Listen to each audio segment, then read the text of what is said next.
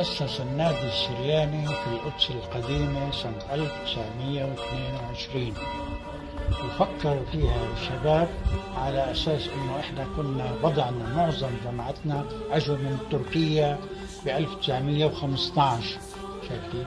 ففيش إشي ما كانش في إلنا محل اللي نقعد فيه. فاقترحوا إنه يعملوا النادي.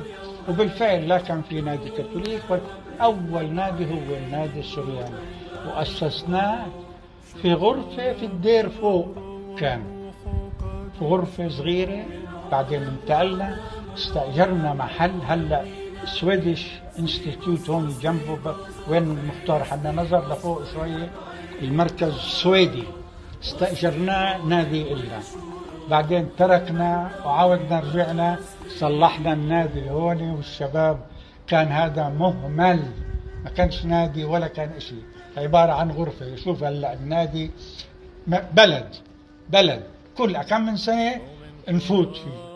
تأسس الكشاف سنة 56 وبالفعل بلشنا شيء بسيط لكن الحمد لله على مستوى عالي.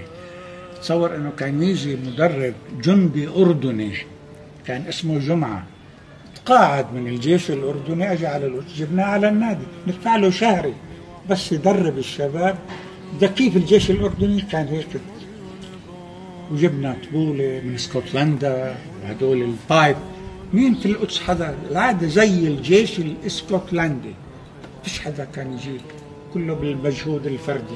نعمل اعداد وحفلات من وين؟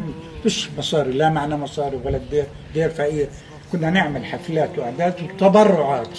كل الطوائف كانوا يقولوا طب هذول كيف صاروا يدقوا؟ من وين؟ ما مش عارفين إنه إحنا أجانا مدرب من الأردن وبالجيش الأردني. هذا البيت كان لعائلة سريانية دار قرمز موسى وأسعد وجورج. هلأ كلهم يهود هذا دار قرمز. نمشي هون. هذا دار جلة وباروج الأرمني. العمارة هذه في الزم قبل 67 كانوا ساكنين فيها سريان وأرمن. بتذكر منه فاروج الأرمني وبعدين إسحاق جله ابوه إبراهيم جله كانوا ساكنين هون. هذه كانت مدرسة السريان كانت أرض فاضية عبارة عن غرفتين. هذا البيت أو الحوش أنا ولدت فيه 5 8 1935 كنا ثلاث جيران ثلاثة سريان.